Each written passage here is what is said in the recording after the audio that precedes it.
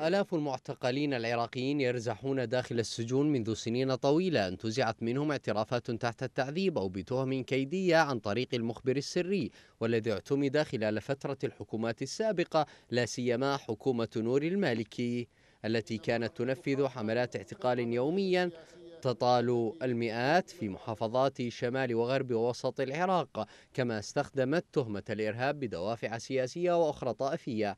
منظمة العفو الدولية في تقرير لها كشفت عن وجود 7900 شخص محكومين بالإعدام في العراق حتى نهاية عام 2022 بينما نفذت عمليات الإعدام ب 41 شخصا في عام 2022 تقرير منظمة العفو الدولية يأتي بعد أسابيع من تأكيد وزير العدل في حكومة الإطار التنسيقي خالد شواني وجود ثمانية آلاف محكوم بالإعدام من مجموع عشرين ألفا من المدانين بقضايا تتعلق بما يسمى الإرهاب داخل سجون وزارته.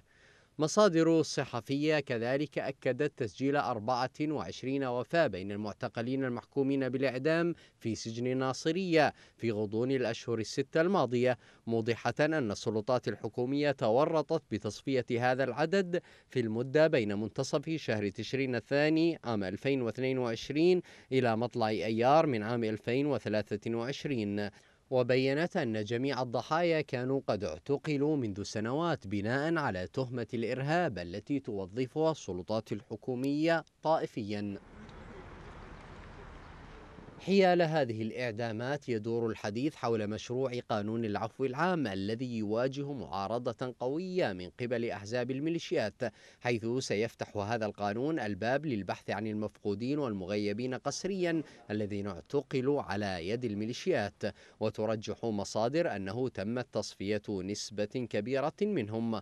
وما المقابر الجماعية التي تكتشف تباعا إلا دليل ملموس؟ على تصفية هؤلاء المعتقلين.